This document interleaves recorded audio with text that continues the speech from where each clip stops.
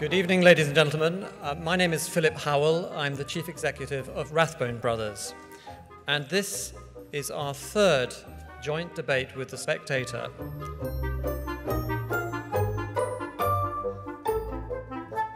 So, to tonight's uh, debaters. Should the next president of the United States be Hillary Clinton or Donald Trump?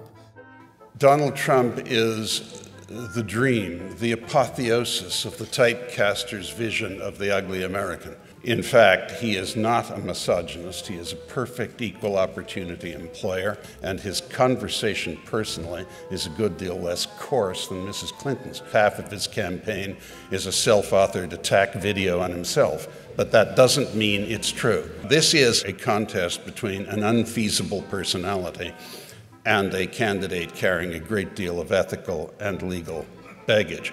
This election is all about Donald Trump and his radical unfitness to be President of the United States.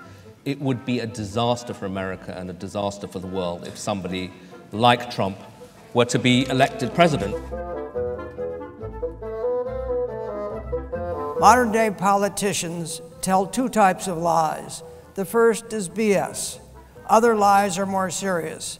Hillary tells both kinds of lies. When Congress asked the FBI Director Louis Freeh, have you ever experienced anything like the FBI's experiences with the Clintons? Freeh said, Actually, I have, investigating organized crime in New York City. Thus, I am not the first to liken Hillary to a career criminal. We have a, someone in Hillary Clinton who has the experience and the understanding of foreign affairs and foreign diplomacy. She has met with leaders.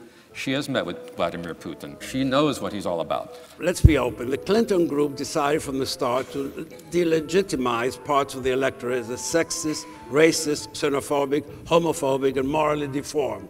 That's near 40 million people. The system is rigged, and if you want to change, vote for Trump. This isn't a reality TV show. This isn't The Apprentice. You're fired, okay?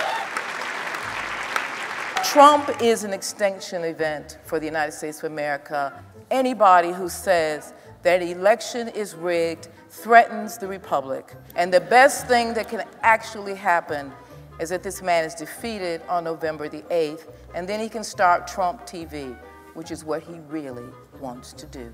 Thank you.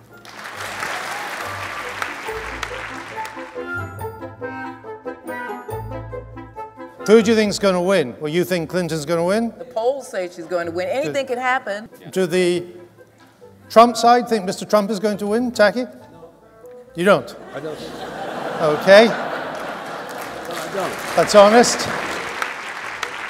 Are you comfortable, Conrad Black, that you are supporting a candidate that boasted about sexual attacks on women? No. Of course not. The fact is, I ha have known him socially for a long time. He doesn't talk like that, and he doesn't act like that.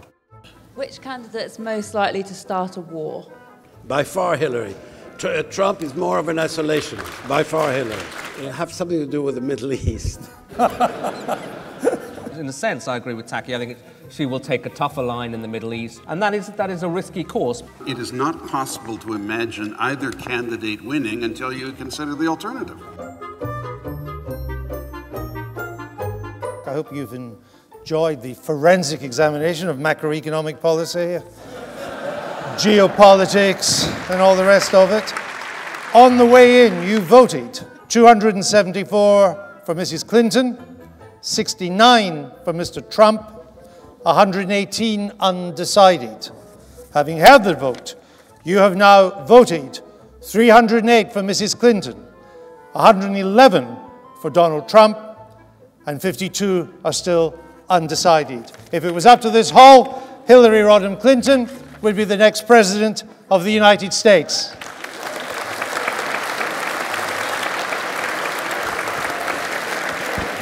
Please, a big round of applause for our great debaters. Thanks, sir.